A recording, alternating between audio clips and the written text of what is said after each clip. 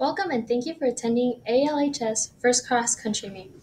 But first, let's introduce our three year varsity athlete, Nora Preston. Nora Preston has a lot going on, at, like maintaining a job, schoolwork, and of course, sports.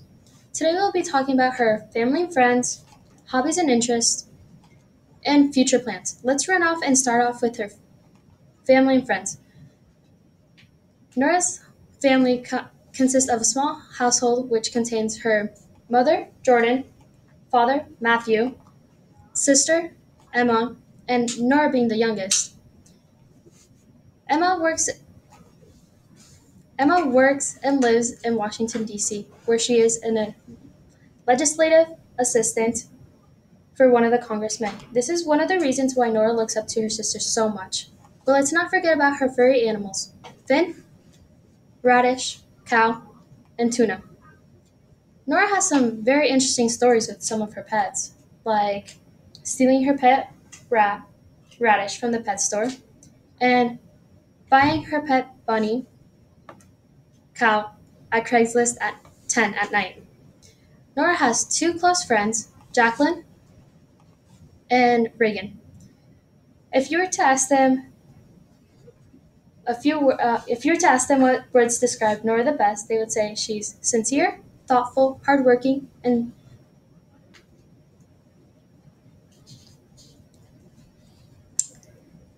can be the last one. Now moving on, as we're finishing the first quarter of the mile, we're as we're finishing the first quarter of the mile, we're going to move on to the second quarter of the mile, which consists of our hobbies and interests.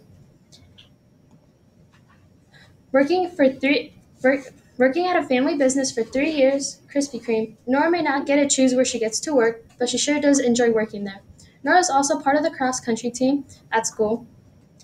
As she describes herself as not being too fast, she can always go cool down at the public library where she actually volunteers there. This has become like a second home to her, and the employees feel like family to her. Nora also likes to spend time with her friends. They like to go to the gym and study together. Nora likes to also go shopping, although she may not have money.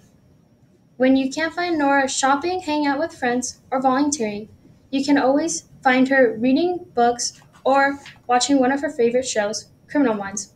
Nora also loves to read English Murder Mysteries by Robin Stevens. As we are getting closer to the finish line, we are going to go over her future plans. Nora doesn't know what she wants to do right now. All we do know is that she does want to move to Washington D.C. and live in a small studio small studio apartment. She would she would like to be the head of a national library and get her degree in science library. She would also like to go get coffee with her sister and walk their dogs. Although Nora says she does not want to be poor forever, all we know is that in 10 years, Nora wants to be able to be rich and she would like to cross the bridge and become married and have kids. As Nora sprints to the, to the finish line, Nora gets first place. Today we went um, over her friends and family, hobbies and interests, and future plans. Although Nora doesn't know what she would like to do, we can all we can say is that she has a bright path ahead of her and we can only hope for the best for her because she let's hope she doesn't end up poor. Thank you.